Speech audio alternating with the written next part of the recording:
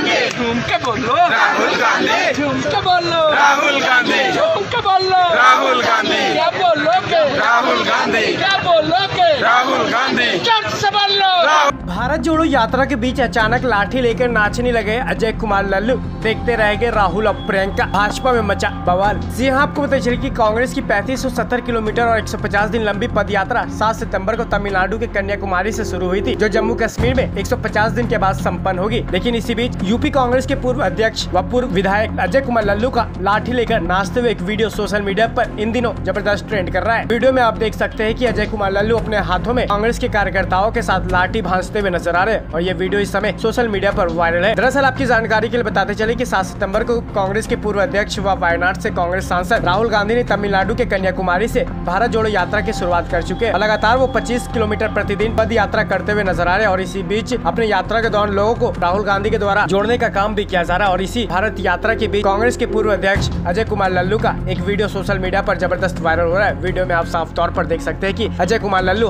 हाथों में लाठी लेकर ज़बरदस्त भांसते हुए नज़र आ रहे हैं इसे देखकर भाजपा खेमे में खलबल नहीं बचा हुआ है। क्योंकि जिस तरह ऐसी राहुल गांधी ने अपनी पद यात्रा की शुरुआत सात सितंबर को तमिलनाडु के कन्याकुमारी ऐसी कर चुके और लगातार वो अपनी पद यात्रा को आगे दिन प्रतिदिन बढ़ाते जा रहे जिसके बाद ऐसी भाजपा खेमे में खलबली मची हुई है। फ़िलहाल इस खबर को देखकर आप क्या सोचते और समझते हमें कमेंट करके ज़रूर बताए। न्यूज़ डेस्क ऐसी हर्षराज की रिपोर्ट।